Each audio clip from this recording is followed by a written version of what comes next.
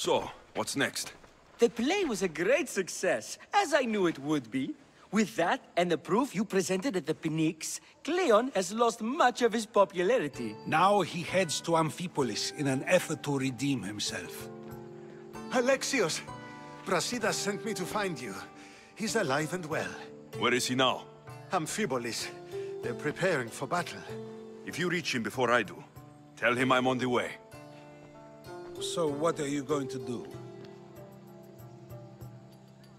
Cleon dies now. This is our chance. The plan is already working. Death should be brought early, even to someone like Cleon. He's exactly the type death should come early to.